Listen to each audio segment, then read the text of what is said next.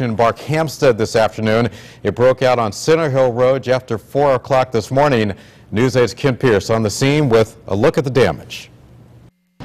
Fire destroys the garage of this Barkhamsted house. Fortunately, the only casualties, two electric cars that were parked inside.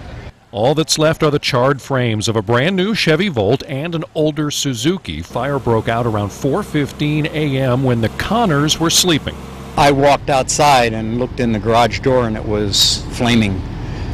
So that was, I decided I'd go inside and put my pants on and come back out. Storm Connors is a volunteer firefighter. He got his wife and their dog out safely. and called 911 and they were here pretty quick. I there were a lot of firemen here, around 50, I think.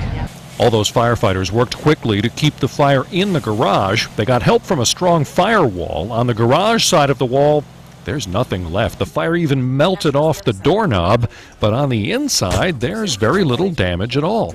The Connors had just bought that Chevy Volt. It only had 2,000 miles on it.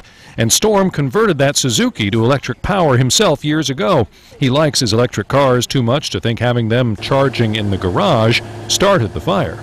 I don't have any reason to suspect it was any reason, any part of the cause of the fire. And everybody's wondering, with the electric cars charging in there, did that have anything to do with the fire? Too early to say at this point. Um, the investigators uh, haven't got in there yet. Um, right now, they're working on their game plan of what they're going to do.